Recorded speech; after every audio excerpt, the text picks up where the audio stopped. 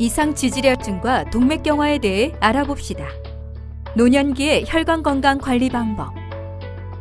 젊었을 때는 혈관에 탄력이 넘치고 혈액순환도 원활하지만 나이가 들면 과음, 흡연, 비만, 운동 부족 등에 의해 혈관이 탄력을 잃고 딱딱해지면서 혈액순환이 나빠집니다. 그 결과 뇌나 심장 등에 공급돼야 할 혈액이 제대로 흘러가지 못하면서 뇌졸중이나 협심증, 심근경색 등 심내혈관 질환의 발병률이 높아지는데 이를 예방하기 위해서는 규칙적인 식습관과 꾸준한 운동 등 올바른 생활 습관을 유지하도록 노력해야 합니다. 노년기에도 건강한 혈관을 유지하려면 음식을 싱겁게 드시고 국물 섭취를 줄이는 것이 좋습니다. 육류는 갈비나 닭다리 같은 포화지방이 많은 부분을 피하고 생선을 섭취하는 것이 좋으며 흰밥 대신 현미, 보리 같은 통곡물로 드시고 채소류나 해조류 등 섬유소가 많은 식품과 견과류를 충분히 섭취하십시오.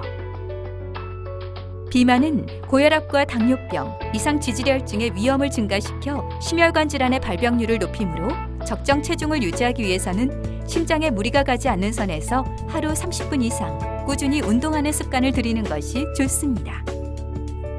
한편 흡연은 혈액 흐름을 방해하고 혈관을 좁아지게 하는 등 혈관 건강에 치명적이기 때문에 담배를 피우시는 분들은 반드시 금연해야 합니다. 무엇보다 혈관 건강에 신경 써야 하는 중년기 이후부터는 정기 검진을 통해 자신의 혈압과 혈당, 콜레스테롤 수치를 반드시 알고 있어야 하며 특히 가족력 등 다른 위험 요인이 있는 분들은 이에 대해 보다 적극적인 관심을 가지고 관리해야 합니다.